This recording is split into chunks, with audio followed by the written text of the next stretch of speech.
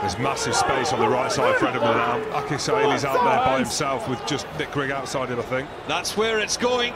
Here's Kinghorn. He's got Dean, they've got numbers. It's Farndale into the corner.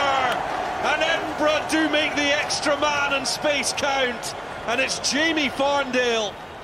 Well, we see Edinburgh potentially learning the lessons there. The first time they had the same space and uh, Huw Jones was out there, there was a, a missed three thrown and Huw, Huw, Jones has got the ability to drift off but on this occasion a big pass from Jaco but then the ability just to use the hands draw the man in and Huw Jones then has a decision to make and he can't he can't defend against two men